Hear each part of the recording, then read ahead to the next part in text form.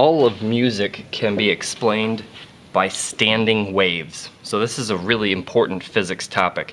I'd like to uh, demonstrate to you that these different lengths of pipe make different sounds. So, these pipes of different length make different sounds because different standing waves are possible on those pipes. This is a, a special set of circumstances because the pipes, uh, the wave is not existing inside the pipe, it's existing as the pipe. The pipe itself is waving. So sometimes though you can have, for instance, in an organ, you could have a standing wave that's in the air inside the pipe. So we'll talk about all these general types of standing waves, but first we should define a standing wave uh, like this. A standing wave doesn't appear to move. So that means it is waving without moving. If I were to just do a quick sketch, I think it's really important to start with a, a, quick sketch here. The idea of a very, very simple standing wave, might you might see a full wave here, and then a moment later, this is gonna be time this direction, a moment later you'd see less pronounced of a wave, and then uh, let, let me give you an equilibrium point here. This is equilibrium, equilibrium, and we'll set it up again and give you an equilibrium. And I'll argue in this time that the wave is gone. Oh shoot, it didn't move, but it's gone. That's kind of funky. A little bit later, we've got an equilibrium point, and now the wave has begun to invert, and then slightly later than that, the wave has fully inverted and you see the exact opposite of what it was before. So if you consider the points on this wave, this is a, um, this is a rope, what I've drawn right here, but it goes for everything that has a standing wave on it. This section of wave right here, this section of rope, is moving a lot. And this section of rope is moving a lot because it's up, then it's small, then it's zero, then it's negative, and then it's really negative. So this section moves a whole bunch, and then I guess it's gonna repeat the whole process going back the other direction, but we don't have to, we don't have to continue that. That's the idea of a standing wave, and there's probably some damping because sound eventually goes away you hear it for a while and then it's gone. But it's definitely shaking back and forth several times. It's not critically damped or over damped, it's definitely under damped.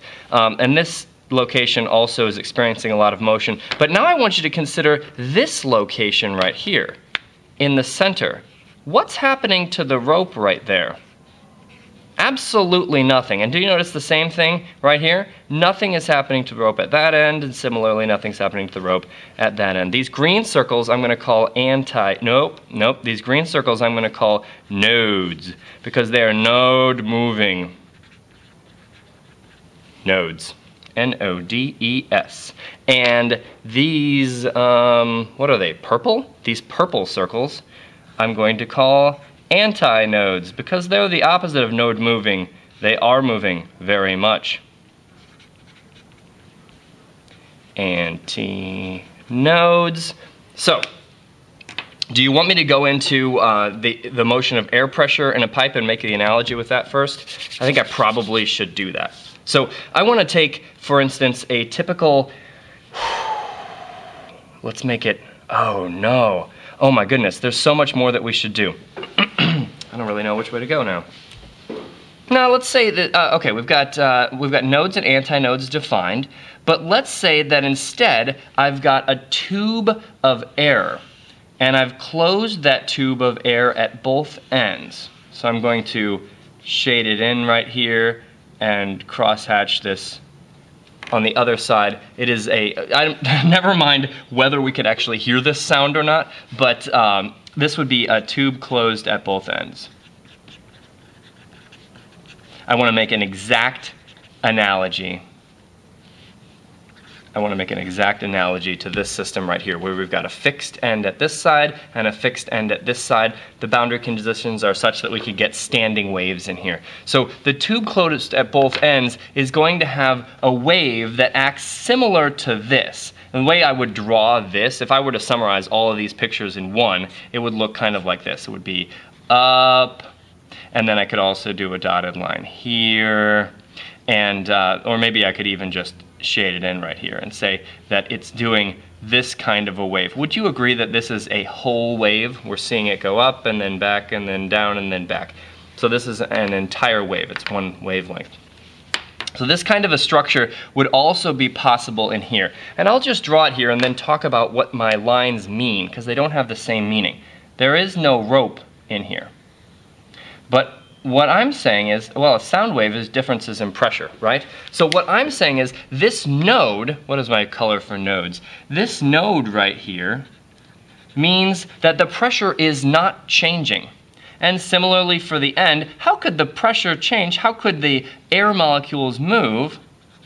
How could the air molecules move at the end right here? And uh, here's another node. That's a node, that's a node, that's a node. But in the middle, oh shoot, in the middle, these air molecules in here are getting sloshed back and forth really, really, really dramatically. These air molecules are sloshing back and forth. And so that's an antinode for the air. And what did I choose to use for antinode? This color over here, it's actually called primrose. this is the location, these locations are antinodes. And that means that the pressure is changing really dramatically here, and the air is going to the left, and then to the right, and then to the left, and then to the right. But at these nodes, there's actually perfectly still air. You could have a piece of paper there, even. You could even, heck, put an end right there, another flat end. But the only difference with a pipe with a tube of air as opposed to a rope, oh shoot, there are no differences at all. But we need to discuss an open end. What if open end, right? That's the big question. So here I'll draw a tube that has an open end and comes back and the other end will be closed. I'll make this the closed end here.